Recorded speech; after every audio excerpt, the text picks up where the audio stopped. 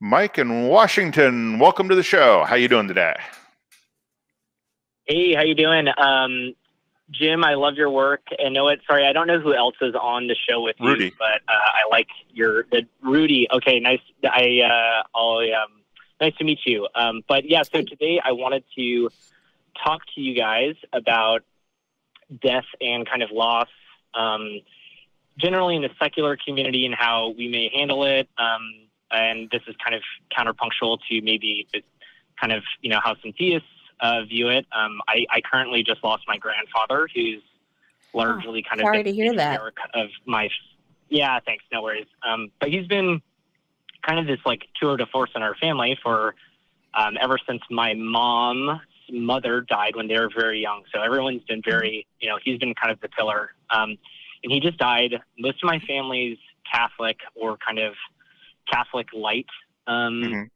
uh, but they, you know, they would they they'd call themselves Catholics. Um, and I've just noticed a really difference in the way that I've responded to his death.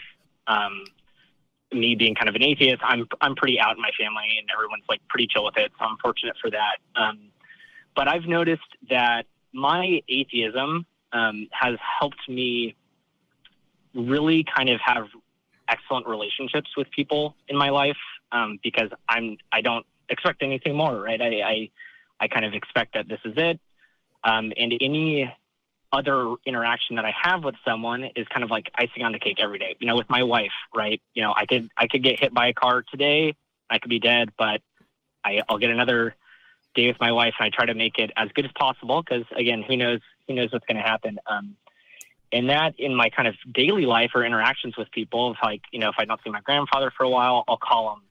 Or if there's kind of a big event and everyone's kind of you know whooping it up or you know having some beers, but he's not really you know no one's really talking to him or whatever, I'll go over and sit down with him because again you know who knows. Um, and that's really allowed me to be confident in my relationship with him and the interactions that I had with him that I I didn't leave anything on the table.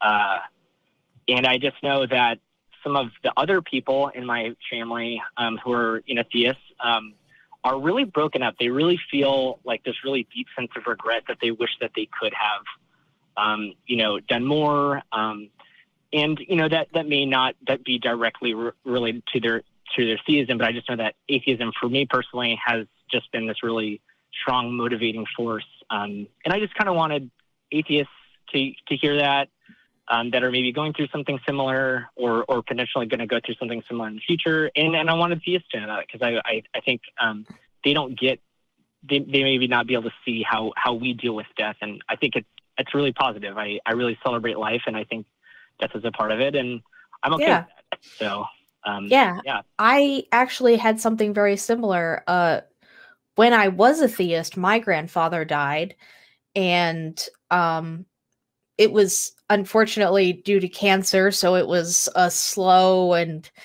pretty uh pretty shitty way for it to happen, but all of the family had time to, you know, get their affairs in order and adjust to the idea that he wasn't going to be there before it actually happened, before he actually passed. But I struggled a lot with the idea that I would see him again, but only under certain conditions of the way that I lived my life moving forward. And that was one of the things that kept me in religion for as long as I was there.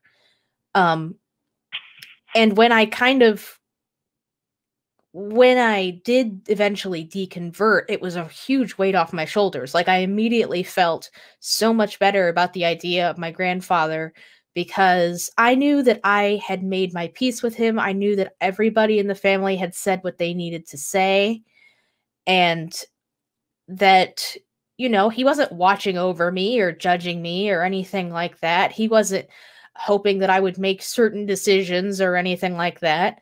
I just thought I think my grandfather would want me to be happy. And no offense, but he doesn't really get a, a say in what that means for me, you know. But ultimately, I'd like to think that he would want me to be happy. And so it was a lot easier to deal with that idea of him than it had been when I was still holding on to these religious ideas and I was pretty sure that I was gonna like be damned. I was gonna like die in Armageddon, you know. So it was. Uh, I guess for for me at least, I would certainly agree that uh, being an atheist made death a lot easier for me to cope with.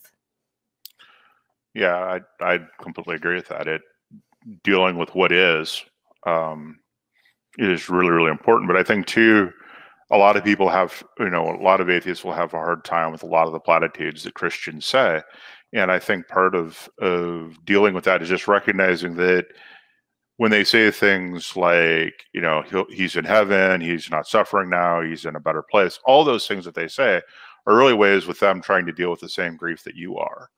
Um, and just because you disagree that they're in heaven doesn't mean that we as atheists can't have some empathy for the fact that that our Christians are dealing with this as well, and to treat those not as attacks on our atheism, but rather exactly what they are platitudes to make everybody feel better.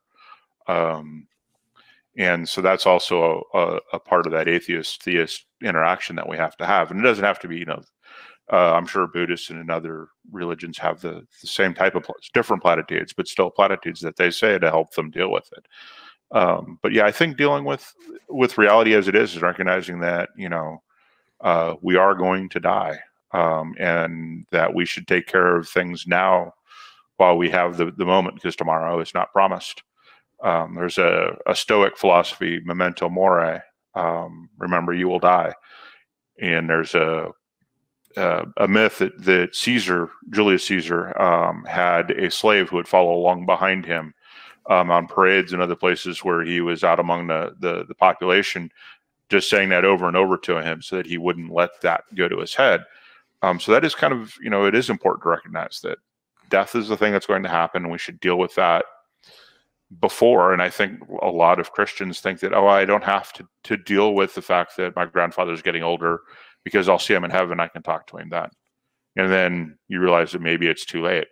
So, yeah, it is. Yeah, uh, no, I think you're. I think, yeah, I think you're. I think you're all. I think we're all kind of on the. You know, just hitting the same points. Um, yeah, I just want to again just call in and, and just say to anyone out there that's feeling, you know, or going through something similar. One, you're not alone.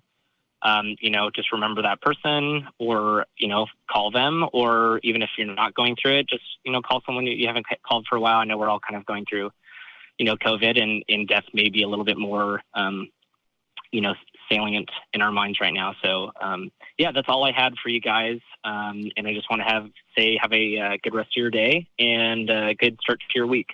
All right. Thanks, Mike. Thanks. Bye. Okay. Heavy topic starting off. yeah, um, very heavy, and I, I think I was watching in chat people talking about some of the the, the things that Thea said. and I think we also have to remember that they the not everything that Thea says is an attack on on us as atheists. Um, yeah. Sometimes it's just a uh, it's just a platitude. It's just something you say.